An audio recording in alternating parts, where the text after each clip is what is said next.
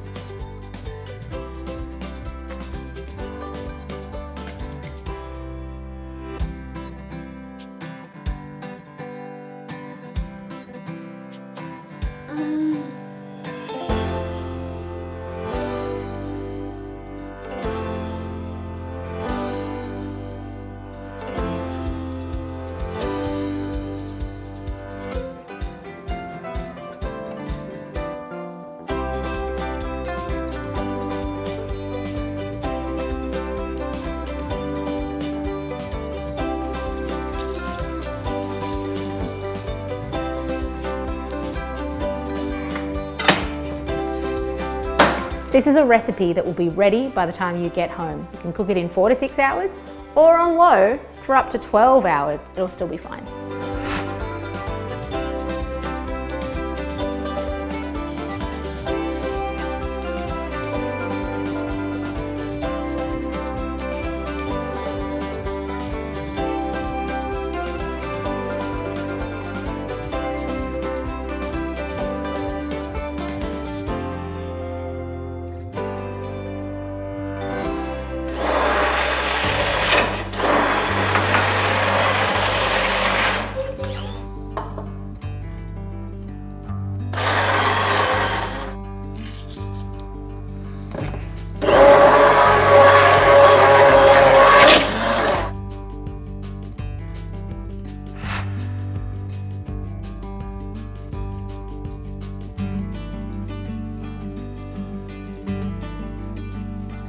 Finish with your crispy potato flakes and enjoy.